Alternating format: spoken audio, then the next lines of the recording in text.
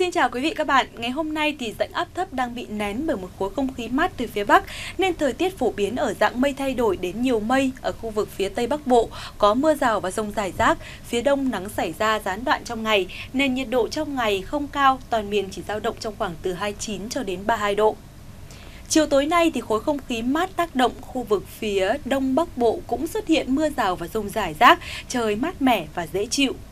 Lui xuống khu vực miền Trung thì dạnh áp thấp bị nén làm hiệu ứng phơn ở tại miền Trung giảm yếu.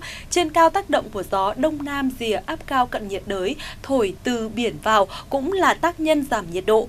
Chính vì thế mà trong ngày hôm nay, nền nhiệt độ toàn miền sẽ giảm hẳn so với ngày hôm qua. Nắng nóng cũng tạm thời chấm dứt ở trên khu vực khi mà nhiệt độ cao nhất ngày, chỉ còn dao động trong khoảng 32 đến 34 độ.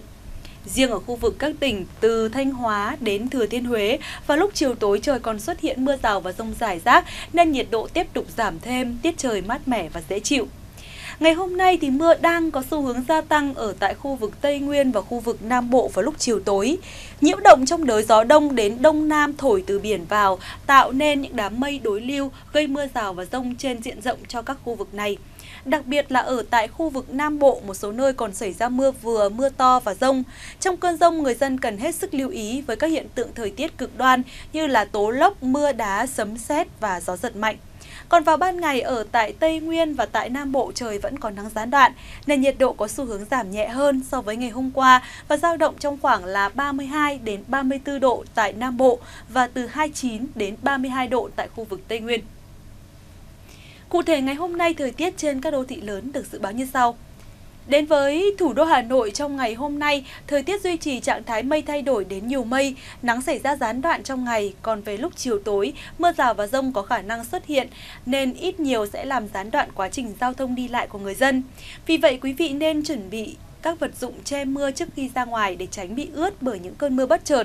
Ngoài ra do thời tiết có mưa nên nền nhiệt độ tại thủ đô có xu hướng giảm xuống, tiết trời khá mát mẻ, cao nhất ngày cũng chỉ sấp xỉ 32 độ, về đêm và sáng chỉ còn dao động từ 26 đến 27 độ, cùng với độ ẩm không khí là từ 68 đến 92%. Ở tại thành phố Hải Phòng, thời tiết không có nhiều khác biệt so với thủ đô Hà Nội. Trời cũng nhiều mây, có mưa tập trung trong khoảng sáng và tầm chiều tối. Các thời điểm còn lại thời tiết tạnh giáo và thuận lợi cho các hoạt động dân sinh. Nền nhiệt độ tại thành phố biển có phần mát mẻ hơn với biên độ nhiệt ngày đêm dao động từ 26 cho đến 31 độ. Ngoài ra tại khu vực ven biển mặc dù khả năng thời tiết có mưa rào và rông vào lúc chiều tối, nhưng gió nam đến đông nam chỉ thổi với cường độ trung bình nên bà con vẫn có thể ra khơi đánh bắt bình thường. Dừng chân ở tại thành phố Đà Nẵng trong ngày hôm nay, quý vị sẽ dễ dàng bắt gặp kiểu thời tiết đẹp, tạnh giáo, rất thích hợp cho các hoạt động mua bán thông thương của người dân thành phố, cũng như là những hoạt động tham quan du lịch của du khách. Vào buổi sáng thì những luồng gió mang hơi mát từ biển vào càng làm cho không khí trở nên trong lành và mát mẻ dễ chịu hơn. Nền nhiệt độ vào lúc này chỉ dao động trong khoảng từ 25 cho đến 26 độ.